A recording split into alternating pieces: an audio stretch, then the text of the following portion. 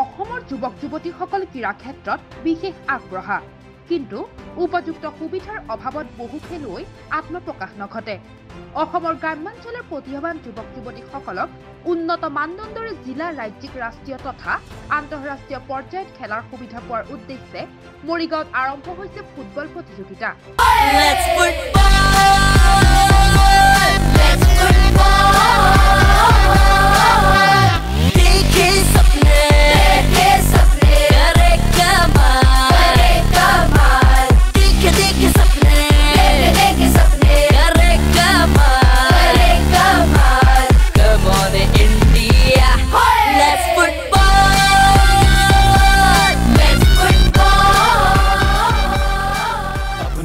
খেলুৱৈসকলক উৎসাহিত কৰাৰ উদ্দেশ্যে মৰিগাঁও জিলাৰ ঔজাৰী কৰাইগুৰি ভোৰবন্ধা মাণিপুৰ চৰাইবাহী আদি গাঁৱত এতিয়া ফুটবল প্ৰতিযোগিতাৰ জোৱাৰ উঠিছে। মৰিগাঁও জিলাৰ কাৰাগাৰৰ সন্মুখত অৱস্থিত মাণিপুৰ আঞ্চলিক খেলপথাৰত অনুষ্ঠিত হৈছে স্বৰ্গীয় পনুৰু ডালুং আৰু স্বৰ্গীয় নিৰ্মল নাথৰ পুৰণি প্ৰাইজমানি ফুটবল প্ৰতিযোগিতা। আজি এই প্ৰতিযোগিতাখনি শুভ উদ্বোধন কৰে তিৱা স্বায়ত্ত পৰিষদৰ সদস্যা বীণাপানী বৰদলৈয়ে।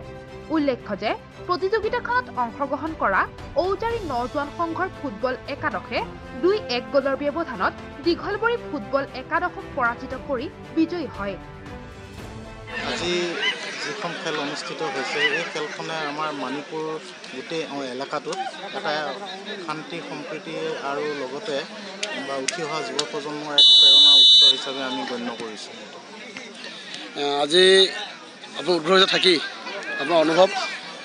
আজি এটা কথাই ভাল লাগিছে মণিপুৰ অঞ্চলত আপোনালোকক আমি শুনি থকা কথা এটা আপোনালোকক জনাব বিচাৰিছোঁ। অসম চৰকাৰে মণিপুৰৰ দৰে এটা অঞ্চললৈ এটা বাৰ কোটি টকীয়া ষ্টেডিয়াম নিৰ্মাণৰ ক্ষেত্ৰত যি আগভাগ লৈছে বুলি আমি জানিছোঁ এই ক্ষেত্ৰত আমি মৰিগাঁও সমষ্টিৰ বিধায়ক ডাঙৰীয়াকো আমি শলাগ ল'ব লাগিব।